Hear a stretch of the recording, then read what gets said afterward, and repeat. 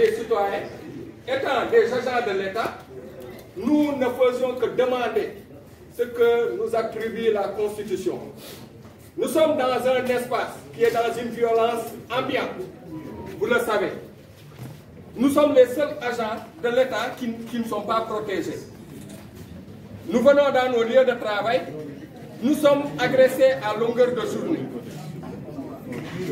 Nous sommes agressés physiquement et moralement. C'est des préjudices. Après ce qui s'est passé le 1er, ju le 1er juin, l'université doit s'arrêter. On doit aller vers des réformes.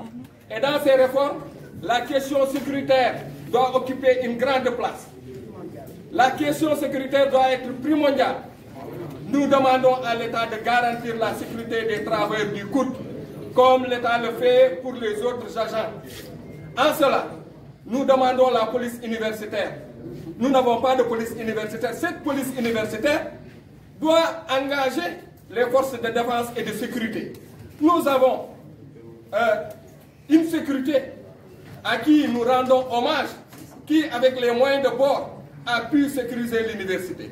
Mais la violence dans cette université, notre sécurité, notre unité de sécurité ne peut plus nous garantir la sécurité qu'on attend de l'État.